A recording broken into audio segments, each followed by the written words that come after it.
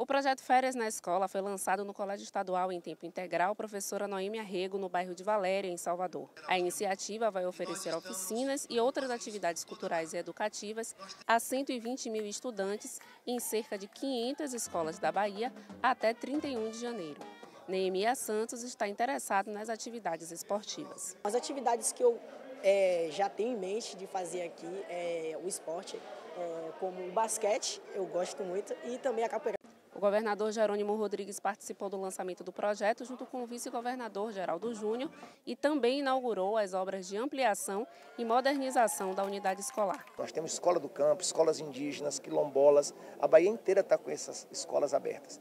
E a intenção minha é que a gente possa continuar conversando com os prefeitos, para que os prefeitos também, em alguns lugares onde puder, ano que vem, possam fazer.